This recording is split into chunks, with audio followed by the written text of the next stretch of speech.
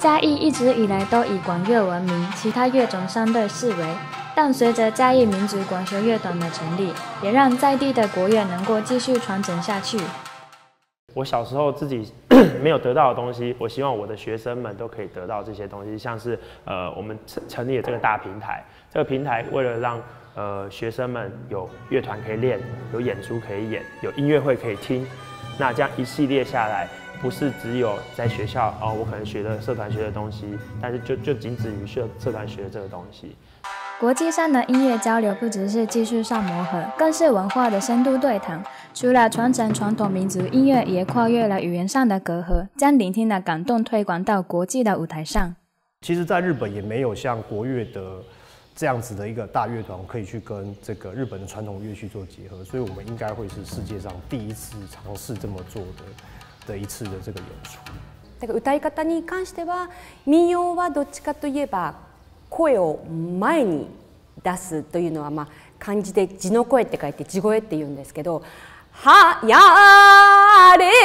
んや」自分で声をまっすぐ前に出すけど演歌っていうのは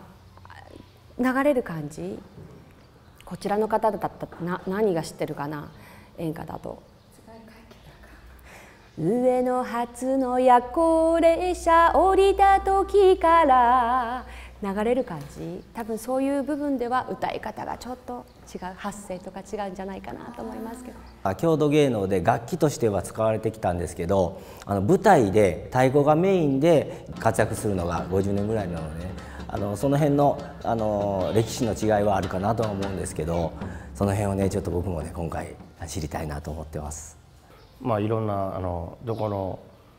えーとどこの国に行っても同じことです。あの同じ演奏をしてます。日本のそのまま伝える。そうそうですね、はい、あまりその海外だからこうしようとか。まあでもそその土地土地のその国のまああのまあ知ってる曲とかは少しこうちょろっと演奏したりとかはあります。はい。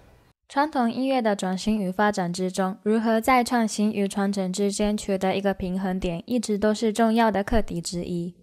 嘉义民族管弦乐团的呃宗旨跟未来的走向，就会跟全世界合作，